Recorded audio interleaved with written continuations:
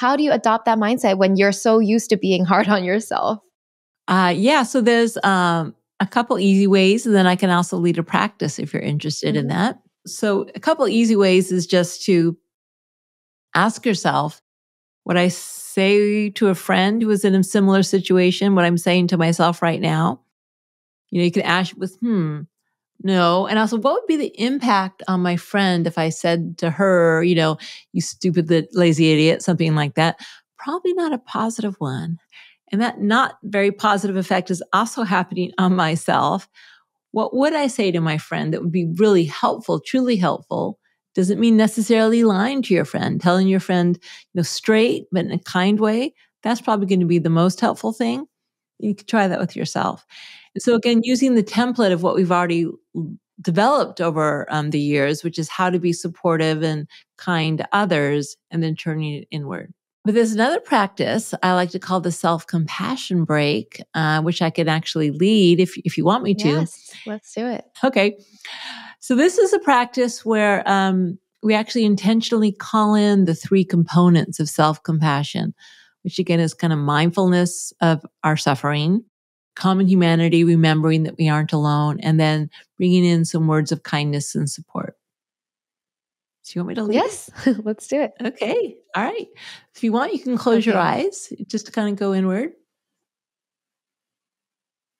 All right. So just uh, taking a moment, just start by settling into your body because we've just been talking a lot. So taking a moment to just feel your own body being present here right now.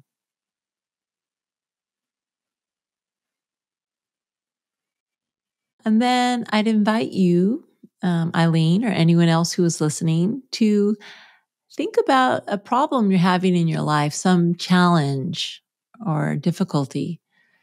Uh, maybe you're feeling bad about yourself for something. Maybe you made a mistake or did something you regret. Or maybe you're facing a relationship challenge or a work challenge, or maybe your health um, having some issues. So please don't choose something that's really overwhelming because you won't be able to focus on the practice if you're too distressed, but something that's is challenging. Right, just call it to mind.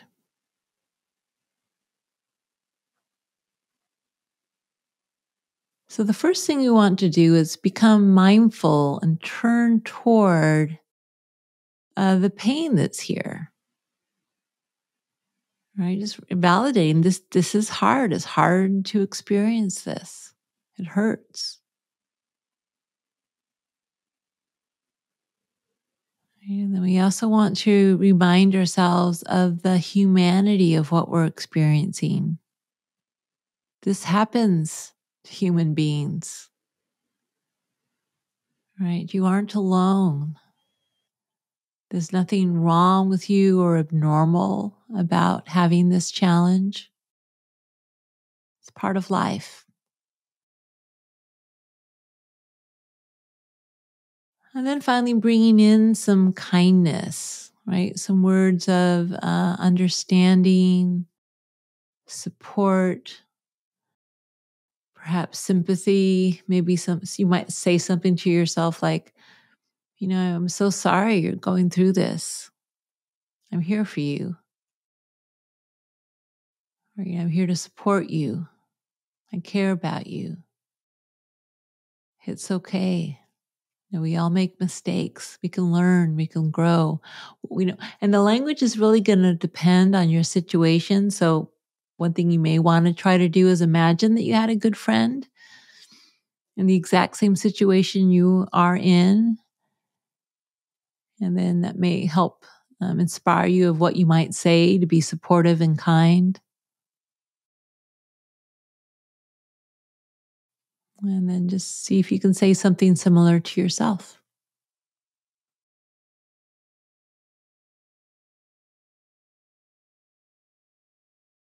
Okay, and then you can open your eyes. So that's the, the basic formula, you know, one part mindfulness, one part mm. common humanity, one part kindness. Yeah. How was that for you? I'm curious. It was reassuring. especially the Yeah. feeling not alone like you're not the only one going through this experiencing this and then just just saying kind words to yourself is it feels nice Yeah, and it's and it's supportive. That's the thing. You know, just think as, as human infants, we are designed by evolution to thrive in the context of care and support, hopefully from our caregivers. And you know, we we can give that to ourselves as adults, and it, it also triggers that sense of safety, and it allows you to think more clearly. And you know, sometimes we just run away with things, imagining that the world is coming to an end. I Mhm. mean, some people are not that some people are facing really serious trauma, not to belittle that, but it helps put things in more perspective and just to know that we are on our own side, that we are an ally, not an enemy when we go into battle. I mean, think about that. Most people think that somehow cutting yourself down and being cold is going to make you stronger. It doesn't, it makes you weaker. Being your own ally, having your own back, that's what helps strengthen you and helps build emotional resilience.